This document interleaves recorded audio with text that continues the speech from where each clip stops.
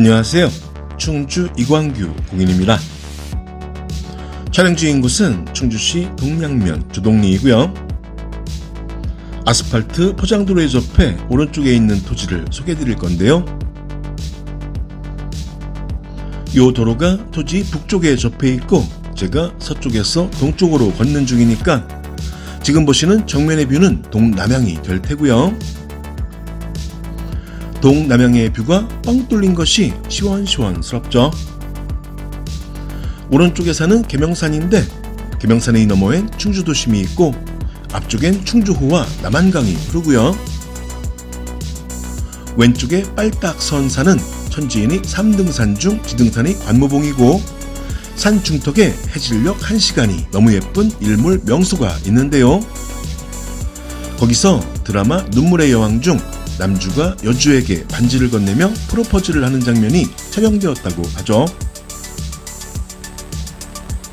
요 위치에서 동양면 소재지까지는 주행 3, 4분 거리이고 충주 도심까지는 넉넉 잡아 20여 분 거리 정도 되네요.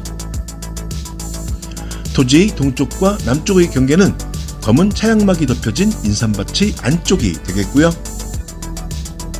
이 토지는 자연녹지의 용도 지역에 지목은 답인데 6, 7년생 정도로 보이는 복숭아 과수 40여 그루가 심겨져 있습니다. 면적은 453평이고 지형은 아까 말씀드렸던 지등산의 관모처럼 생긴 평지형이고요. 보시는 것처럼 도로보다 2, 3m 정도 낮은 지형인데요. 저는 이 토지의 컨셉을 전원주택 용지로 잡았고요. 전원주택을 신축하려면 아무래도 도로 높이에 맞춰 복토를 해야겠죠. 주인분께서 희망하시는 평당 매매가는 60만원으로 매매가는 2억 7천만원인데요.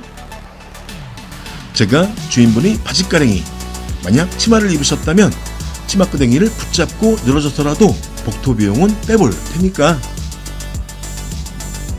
요거 괜찮다 싶으시면 연락 주세요. 도심에서 멀도 가깝도 하는 적당한 위치의 전원주택지입니다. 충주시 동양면 주동리 면 소재지에서 약간 외진 곳에 위치하고요. 8m 아스팔트로에 접한 부정형 평지형의 자연녹지 지역이네요.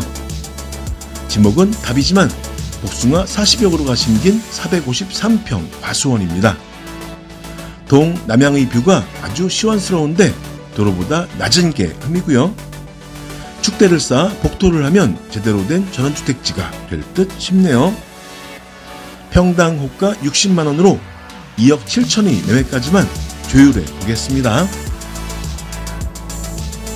지금까지 공인중개사 이광규였고요.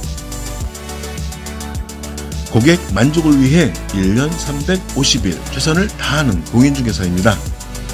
충주시와 충주권역 동선에 관한 모든 상담을 해드리고 있어요.